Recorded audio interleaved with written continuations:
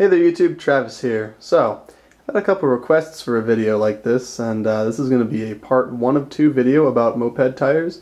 Part one is going to talk about a couple brands I like, as well as a few things I've learned along the way. Well, part two is just going to be a straight tutorial how to change a tire if you already have one. So if you'd like to jump to that, I'll put a link in the video description for you. But anyway, I'd like to share with you a few things that, uh, that I've definitely learned, and uh, hopefully this will help you out if you're getting started with mopeds and you need new tires. So I'd like to start this video out by saying that you wouldn't drive a car with 30 year old tires and you should not, definitely not be, driving a moped with 30 year old tires. This is the rear tire off the 77 Maxi N and as you can see this thing is really dry rotted and uh, I wouldn't ride this anywhere. I wouldn't take this out of the driveway. Um, my buddy Ben, I'll show you his Columbia commuter here in a minute which we just put new tires on. Uh, he was about six miles out, and uh, his tires looked just like this. And he thought they'd be okay because the tube still held air and all that. But uh, his rear tire blew, and thank goodness he didn't have a serious accident. So that being said, you definitely want to change your tube when you go to buy new tires. It was a little confusing to me at first, but when I'm on treats looking at tubes, they size them um, between two sizes. So for example, I'm buying a 2.25 inch tire I'm, so therefore I would pick a tube that is 2.25 inch to 2.5 inch and uh, I've been doing that for all my tubes and they've been working out great.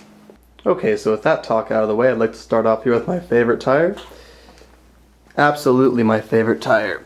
This is the Michelin Gazelle. Okay so it's definitely my favorite tire but there's a couple things to keep in mind if you're going to choose this tire. The Gazelle is very heavy, very tough, and very cheap. Keep that in mind. Um, this is the only tire that neither me nor any of my friends were able to put on the rim. Uh, we actually, I actually had to take this to a bicycle shop and they mounted them for me. Love the tires so much. Um, just very difficult to get on. If you go through Moped Army, people have all kinds of different techniques to get them on. Some people bake them in their oven for a short amount of time or put them in the sun. People use dish soap. Uh, it's kind of interesting read. And as you can see by the front, it's got a particular tread pattern. There's an arrow on the side which indicates which way uh, the tire needs to turn. Also noteworthy that while the Gazelles did clear the stock swing arm, at one point I had a tiny little dent in that swing arm. It was only like a millimeter clearance on each side. And That was enough to make them start rubbing, so now I have the robot swing arm for the rear, and I love it. So some miscellaneous things. I also I did notice a very slight speed loss. It was between one to two miles an hour um, after I put the gazelles on, without changing any other any other things in my setup. Um, I mean that wasn't a big deal for me, but uh, well, just because of the rotational weight of this tire. Once again, I mean I've seen pictures on the internet of people driven over nails stuck in these things, and they're just fine. Uh, I recommend this tire, but like I said, it's got some things you need to keep in mind. Also, those of you who are uh, familiar with the Puch Maxis will understand that this is not my original fender. If you follow my video series about this particular bike, you'll remember when I had this put on. But uh, this fender would have come on like some higher end Maxi Luxes, some Maxi 2s, um, this nice front chrome fender here.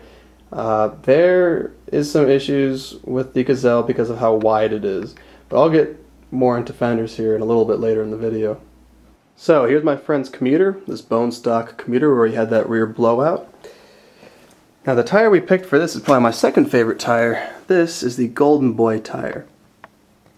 I believe it's from Shinko. They're based out of Korea. But uh, this tire we were able to put on though it was quite tough. Um, maybe a step down from the Gazelle. I like the pattern on it. Uh, I like how it feels. This is a great little tire and uh, it wasn't too expensive either. I was quite fortunate when I bought the General that it came with brand new tires put on it already. This one came with IRC tires, and uh, I really like these tires as well. They've got a great tread pattern here, and uh, they seem like a, they just feel like a nice quality tire, and they've got a great ride. My other friend's Tomos right here, he has Sava tires on the front. Let me see if I can get it there. And uh, these have kind of like a more slick front to them, but he really likes these tires. They work for him. They seem of good quality. My buddy Nate on his Garelli, he has the white wall Savas. They're one of the few companies where you can get white wall tires, and he really likes those as well. Um, now those are 16 inch. That seems to be a trend among Italian bikes. Is they use 16 inch rims and then pretty much everything else I've seen, Puch, Tomos, Sachs, um, all have 17s. And finally, here's the Maxi N. When you watch part two, you'll get to see the tires for this being installed, or at least one of them. And uh, I elected to go for a tire that, when people commented on the reviews, they said it was a skinnier tire. And I'll show you why here in a minute. Now, these are from Hutchinson. And uh, they have a tread pattern very similar to the tires that came on these bikes. And um, these ones are the turbo tires, 2.25 inch by 17. And I wanted to make sure I could get one that was skinny. Uh, for the most part, you're going to have a lot of trouble finding tires that are 2 inch, 2 inch by 17, especially for these Puchs. They're just not out there. But uh, for the most part, 2.25 will work unless you've got something really wide like a Gazelle, in which you'll need to make some modifications. Now these tires did fit, and when I first put them on they were rubbing the fender, but that's only because the fender was a little bit bent, so I bent that back by hand. But uh, I want to be really careful that I bought a skinny uh, 2.25 inch tire, if that makes any sense. Uh, it's got to do with this front fender here. Let me show you a quick comparison. So, okay, so for a quick comparison, if you happen to have one of the gray fenders that isn't painted, just a gray fender here, these two metal bits here that come down that uh, bolt into the down tubes. Notice how that's pretty much straight the whole way down. That makes it a little bit tough to run tires that uh, can be on the thick side. If you're lucky enough to have one of the painted front fenders like this, notice how it's got uh, those little indents made out there so you can ride the wider tires a little bit easier. And the Hutchinson's just a cheap tire. I wanted to throw something on here. I'm not going to kit this bike or do anything crazy with it. Uh, for all I know, the IRCs or many of these other brands could have fit, but uh, these ones definitely did. And uh, this is going to be a simple around the town cruiser, so they'll work great. Also, keep in mind there are other places to get tires besides Treats and 77 Mopeds. You might be able to find a better deal. I do encourage you to shop around. I uh, will say I have utilized the uh, free shipping over $150 uh, ability that 77, as of this video, currently offers. Um, when I got my Gazelles, that uh, was a big savings right there. And I truly have tried to source tires and tubes locally, but the prices just haven't been anything close to what I found online.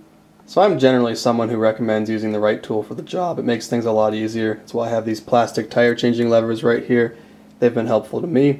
As you'll see in the video the actual tire changing, I invite my friend over. His technique is so much better than mine. He's changed countless bicycle tires and car tires, and uh, he likes to use butter knives, and uh, he's just gotten used to that. Uh, if you have a more ornate butter knife like this one, it's going to lessen the chances of you popping your tube. That's the real reason uh, I'd rather see you guys using tire levers. But you know what? His technique worked, and he was really helpful. And I know that uh, not all of my viewers have access, be it financially or there's just not an area where they can get access to tire changing tools. So I'm kind of glad he showed that technique. I know I'm going to catch some flack for it though. Alright YouTube, well that's all I have to say about tires. Until next time.